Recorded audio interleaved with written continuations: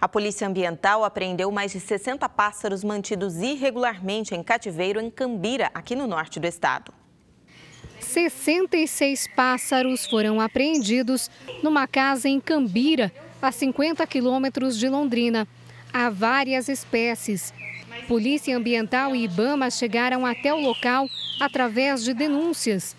Lá foram constatadas várias irregularidades, desde maus tratos, como gaiolas imundas, falta d'água ou água suja.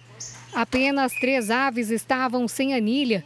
Todas as outras tinham, mas provavelmente adulteradas, colocadas já em pássaros adultos pegos na natureza. A maioria dessas dos pássaros, eles recebem essas anilhas, o IBAMA manda para o criadouro para ser em, colocada de, do primeiro ao oitavo dia depois do nascimento dessas aves.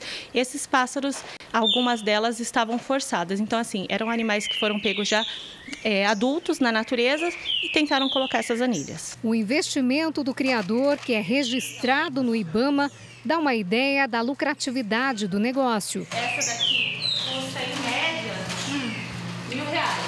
Sério? Gaiola grande. Agora começa o trabalho de identificação.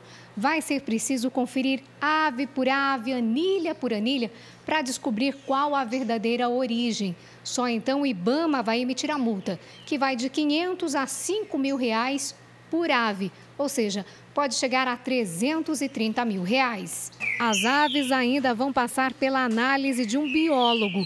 As que tiverem condições voltam para a natureza.